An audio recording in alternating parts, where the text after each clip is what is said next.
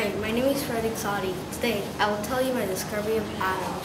I was born in 1877, September 2nd, so I will be 140 years old if I'm still alive.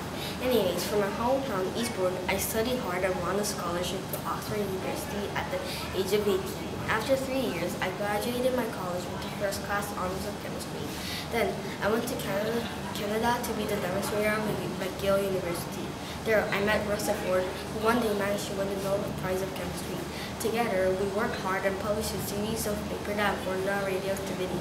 This concluded that things happen involving atoms to break down forms a new matter.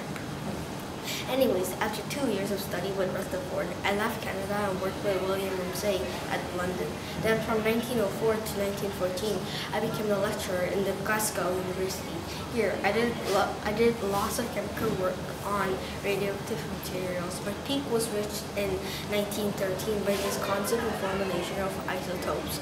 In 1914, I was appointed to the professor of chemistry at the age of at, at a university, but my plans for research were hampered by the war in 1919.